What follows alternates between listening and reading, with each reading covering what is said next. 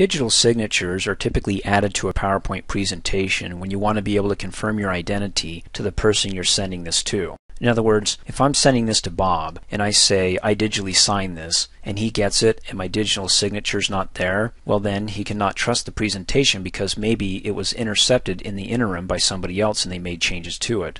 Let me give you the definition, see if this makes sense. Digital ID confirms the identity of the person who sent the presentation, typically issued by a certification authority or CA, a trusted third party, this digital ID, and contains a serial number, digital signature of issuing authority, expiration dates, name and copy of certificate holder's public key so the user can verify that the certificate is authentic. Once the signature is attached to this PowerPoint presentation, it cannot be modified that is the presentation, without removing the digital ID first, which is important because again, if I'm sending this off to Bob and let's say Sue intercepts it and says, oh my, you know, Bob can't see this, let me make some changes to it. To make changes, she has to remove my digital ID, in which case, when she forwards it on to Bob and Bob gets it and says, uh, Kirt, this is from you, right? I say, yes. Well, I don't see your digital ID here, then I could tell him, don't trust it. Somebody intercepted it, hijacked it, made changes. Let me issue another one here.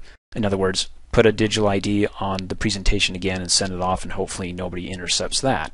Now to go ahead and add a digital signature to this presentation here. Come up here, click on the Office logo button, go down to Prepare, and then click on Add a Digital Signature. Again, this ensures the integrity of the presentation by adding an invisible digital signature. Well, it won't be invisible. I'll show you how to view it. Click on it, Microsoft gives you a little disclaimer here. You can either go ahead and click OK to continue or use the signature services from the Office Marketplace. Again, using a third party certification authority to get your digital signature. Otherwise, you can just use the internal one here on this computer, which means that when you digitally sign this, it only applies to this computer.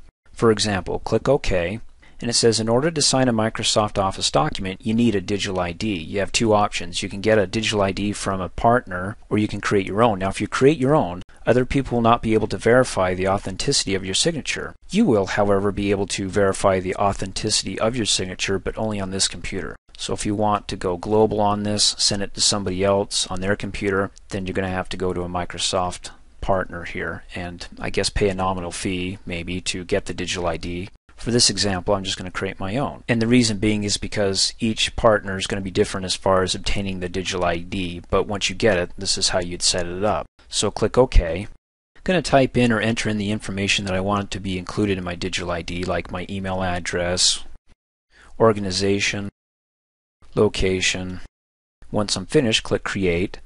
Now it's got my digital ID set up, and all you have to do is just say what's the purpose for signing this presentation. I can just say something like for review by click sign, and I'm done. Your signature has been successfully saved with this document. If the document is changed, your signature will become invalid. Click OK. Two things. First of all, over to the right we have the task pane where it says signatures here. If I close out of it and I want to bring it back up, down on the window frame you have the little signature uh, icon. It says this document contains signatures. Click on that once and it brings up the tasks pane, in which case I can click on the drop down arrow, look at the signature details, or remove it. Now like I said, if I come in here and I try to make changes I can't. Hit the delete key, nothing. In fact, you can see up here on the ribbon that the formatting features have been disabled.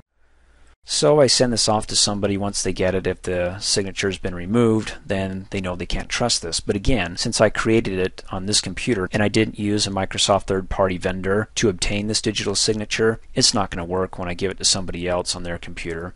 But if it's on this computer and somebody comes in and removes it and says yes, click OK, well, all I have to do is look down here in the window frame. There's no digital signature icon, so I can't trust it somebody removed it may have made changes to the PowerPoint presentation, which you can see right here that when you click in here, you now have access to all the formatting features.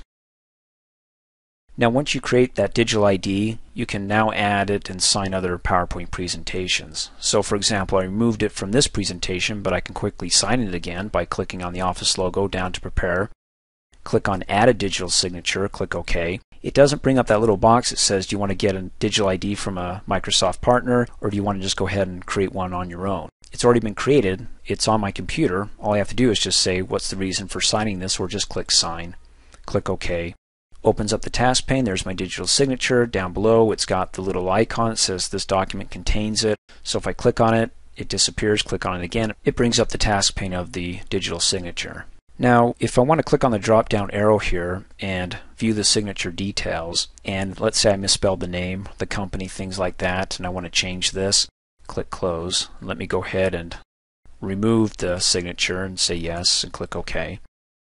Well, the only way to change it is to either wait for the expiration of your signature when it runs out or actually delete the signature that's stored on your computer. So for example, minimize the PowerPoint program, double click on computer, double click on the C drive, go to the users folder, double click on that, and of course whatever username you logged under, which in this case is training, double click on that.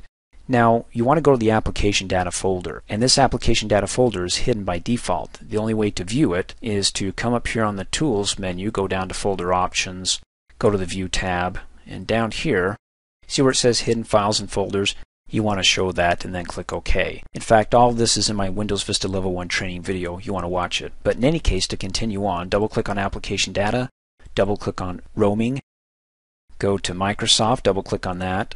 We're getting closer now. There's the system certificates, double click on that, double click on My, double click on certificates, and there it is. Select it, hit the delete key, say yes. In fact, let me maximize the window here. Click on the folder, and you can see the address. C users, the username that you log into, application data roaming. Make mental note of that case if you want to use this. Close out. Maximize the PowerPoint presentation, Office logo to prepare. Add a digital signature, click OK. Then it says, OK, you deleted your old digital ID. I'm going to go ahead and create a new one, click OK, and then go ahead and type in your name, email address. Be sure to type it in correctly so you don't have to go back and delete it and do this over again and then finish up with creating your signature, sign your PowerPoint presentation, and you're on your way. Thanks for watching. Hey, as a quick reminder, if you like my video, please give it a thumbs up. You can also click on me and subscribe to my channel, get notified of the latest videos, and for only $2 a month, you can have access to all my Microsoft Office training videos.